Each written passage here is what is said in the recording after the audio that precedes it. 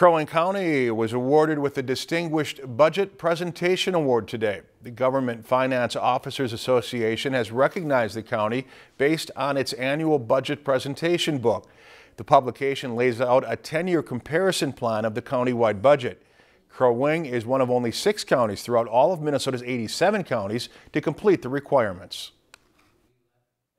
cascading down our organi organizational priorities to our departments and helping our constituents uh, understand the different organizational priorities that each department is trying to obtain and putting that into our budget narratives by each department to show this is how each department is, is rolling up to the top to uh, achieve our organizational priorities.